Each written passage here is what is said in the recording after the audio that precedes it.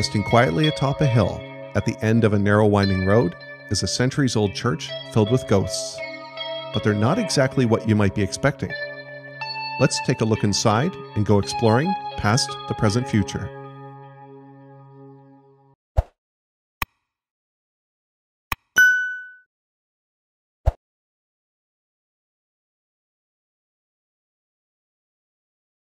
Assalamualaikum warahmatullahi wabarakatuh.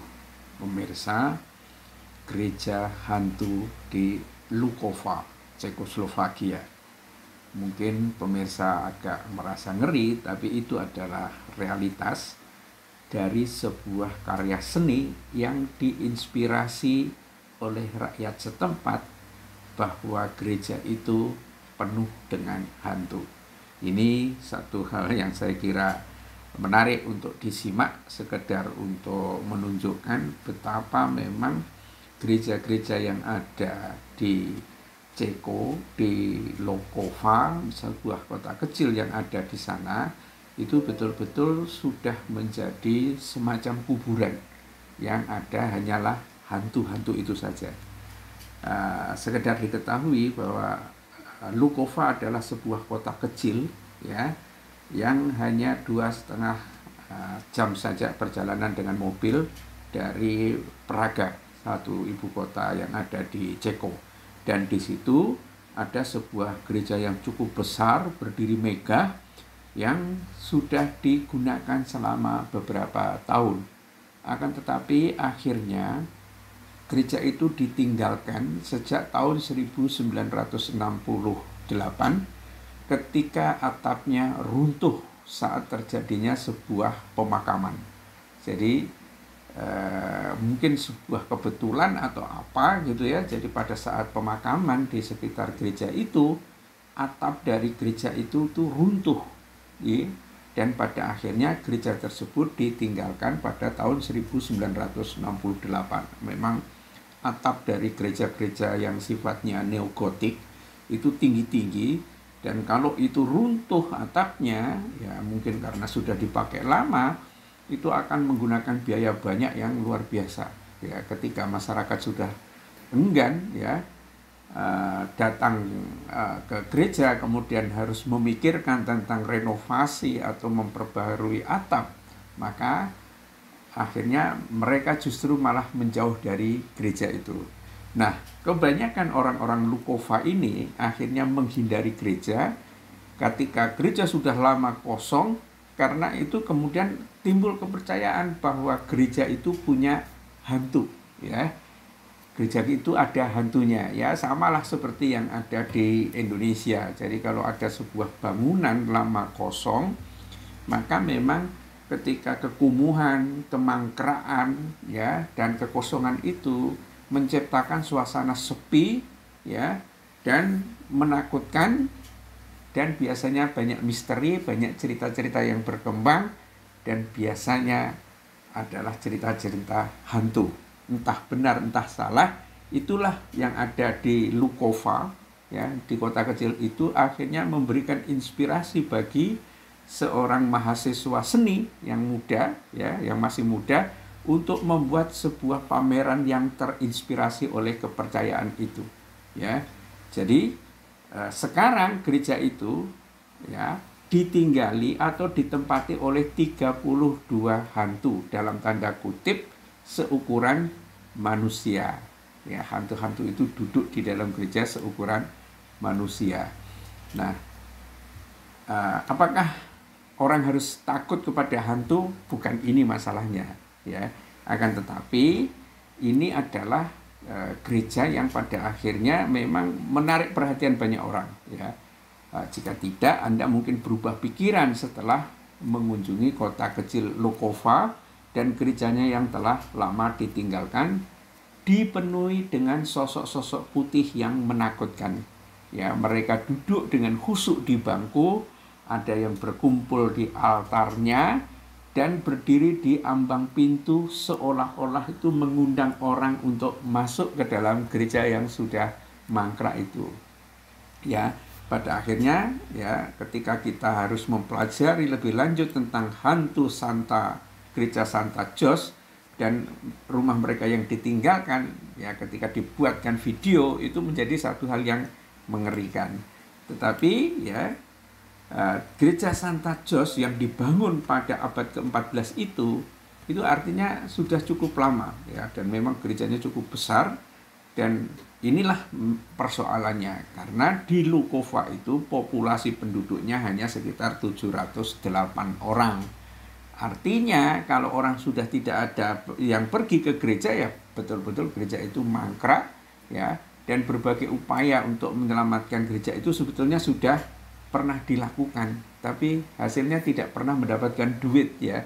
Kalau hanya mengeluarkan duit mengeluarkan duit ya eh, itu artinya hanya berkorban terus tidak mendapatkan eh, keuntungan ya akhirnya memang setelah ratusan tahun gerejanya itu sepi dan tadi saya bilang atapnya itu rontok yaitu runtuh itu justru membawa ketakutan ganda ya karena pada saat atapnya rontok itu ketika sedang terjadi pemakaman dan akhirnya terus beredar eh, isu-isu uh, tentang adanya hantu itu dan memang uh, ketika juga rakyat yang ada di Lokova dan saya pernah bilang di Ceko Republik Ceko itu sudah tidak ada yang uh, Kristen lagi, ya maka wajar saja. Ya bukan hanya gereja ini saja yang mangkrak. Gereja-gereja lain juga banyak yang mangkrak ya. Dan karena itu gereja dibiarkan membusuk sampai masyarakat untuk memutuskan untuk mencoba menyelamatkannya. Namun tidak ada yang bisa menghasilkan uang. Untuk dibuat apa coba? Dibuat restoran ya. Uh, penduduknya hanya 708 orang siapa yang mau beli ketika mereka juga makan di rumahnya mau dibuat tempat uh, olahraga tidak bisa ya akhirnya justru ya itulah seniman itu yang akhirnya datang. Dapat dimengerti kota yang hanya berpenduduk 708 orang ini tidak memiliki sumber daya untuk sepenuhnya memperbarui uh, gereja itu dari yang sejak se ada itu sejak abad ke-14 Ya, namun pada tahun 2012 seorang seniman lokal punya ide ya, memainkan secara angkernya seniman lokal ini ya, namanya itu Jacob Hadrafa menciptakan 32 hantu seukuran manusia untuk tinggal di dalam gereja. Dalam tanda kutip ya hantunya ya. ya Ya, Hadrafa menggunakan teman-teman sekelasnya sebagai model untuk memenuhi mereka dengan lembaran dan membuat gips ya, sempat sejenis apa namanya yang kental itu untuk membuat uh, efek yang menakutkan ya. Kemudian mereka banyak dipasang untuk didudukkan di bangku dan lokasi lain di sekitar gereja memberikan suasana yang seram ya di seluruh ruangan itu.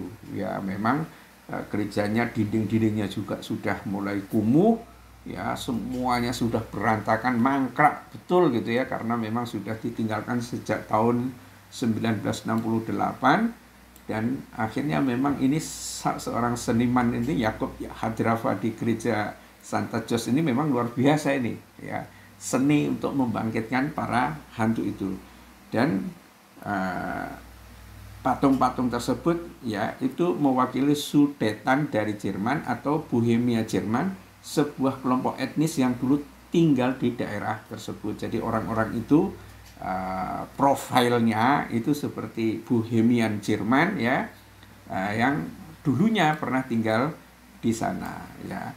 Jadi uh, ini satu satu hal yang patut ditiru saya kira termasuk di Indonesia untuk bisa uh, dipikirkan ya karena mungkin nanti jamaatnya akan semakin merosot merosot merosot dan pada akhirnya hanya tidak ada lagi orang yang masuk ke gereja gereja kosong lama ditinggalkan akhirnya mangkrak. Nah itu idenya itu harus seperti apa? Itu saya kira penting untuk dipikirkan mulai dari sekarang.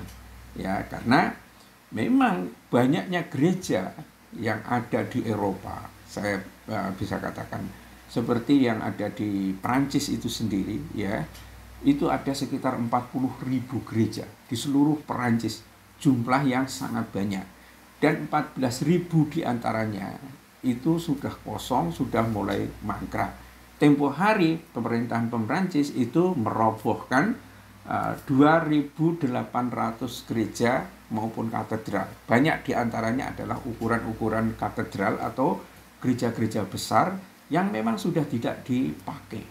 Dan gejala atau fakta bahwa gereja-gereja kosong itu semakin banyak dan kemampuan untuk membuat ide apa sih yang harus dilakukan berkenaan dengan gereja ini itu tidak banyak. Karena apa? E, properti gereja seperti organ atau bangkunya yang panjang atau kemungkinan apa ruangannya itu tidak kompatibel dengan kehidupan modern ya tidak tidak kompatibel ya tidak bisa dipaskan dengan kehidupan modern. Siapa yang mau main organ dengan organ-organ klasik seperti itu? Begitu juga dengan kaca patrinya. Itu juga susah untuk dijual dan lain sebagainya. Dan karena itu banyak yang pada akhirnya dirobohkan. Dan apa yang dilakukan oleh Jakub Hadrafa ini, ini memang luar biasa, pemirsa ya. Gereja ini di kampung yang disebut dengan uh, di satu kota kecil yang disebut dengan Lukova itu, pada akhirnya banyak didatangi oleh uh, turis itu, ya, didatangi oleh para uh, turis ini. Dan popularitas gereja mengalami peningkatan yang luar biasa pada tahun 2013 ketika videonya bergaya seperti itu, bergaya hantu-hantuan seperti itu, diunggah ke YouTube dan memiliki lebih dari 220 eh, ribu tampilan pada hari ini ya.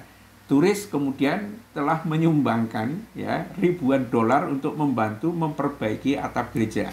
Ya, bukan dindingnya ya, atapnya. Kenapa? Karena kalau atapnya itu dibangun kemungkinan untuk bisa menahan dari hujan dan lain sebagainya ya itu eh, sangat diperlukan supaya para patung-patung ini tidak segera eh, rusak begitu ya patung-patung sudetan dari Jerman ya yang sebetulnya itu adalah eh, ceritanya eh, sudetan Jerman adalah etnis Jerman yang diusir dari Republik Ceko saat itu Cekoslovakia setelah Perang Dunia Kedua. Dan itu diyakini sebanyak 3 juta sudetan Jerman di Republik Ceko dan telah diusir. Akhirnya mereka pindah ke Jerman dan Austria ya. Yang uh, gambarnya yang dibuat kayak patung-patung begitu itu.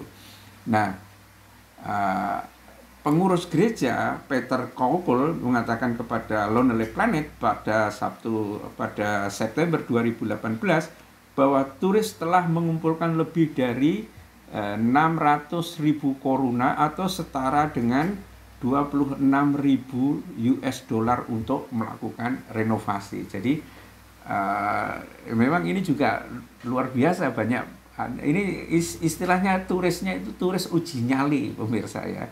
Turis uji nyali untuk melihat uh, gereja Lukova, uh, Ghost, uh, gereja hantu di Lukova ini menjadi objek dari turisme itu ya. Dan pada akhirnya memang ya ini seperti uji nyali itu ya. Masuk ke dalam gereja dalam suasana mangkrak kumuh sepi gitu ya.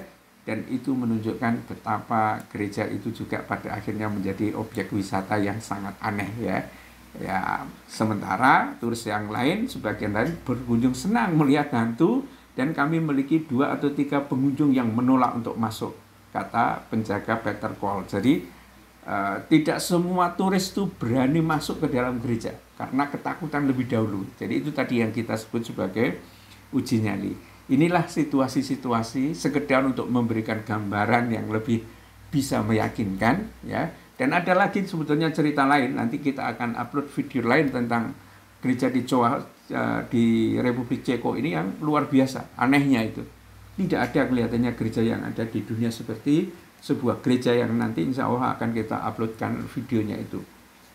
Ya, ini hanya satu satu tanda ya yang harusnya direnungkan oleh orang-orang Katolik atau orang-orang Protestan, mungkin Katolik lah ya yang persisnya betapa memang gereja-gereja mangkrak itu perlu untuk dipikirkan. Apakah dibuat hantu seperti gereja uh, Santa Jos ya yang dibuat oleh seniman seperti itu, tapi kalau itu semua dibuat seperti itu juga uh, menjadi tidak unik lagi gitu kan. Karena banyak juga yang uh, meniru. Tetapi dalam kasus di kota kecil Lukova yang ada di Republik Ceko ini ini menjadi betul-betul sangat genuine idenya walaupun gerejanya terasa sangat menakutkan. Tetapi ini sekedar sebuah contoh bahwa gereja sudah beralih fungsi ya sebagai tempat turis dan orang eh, jamaat-jamaat yang duduk di bangku gereja sudah berubah. Dulu manusia, sekarang hantu. Bila itu wal hidayah. Assalamualaikum warahmatullahi wabarakatuh.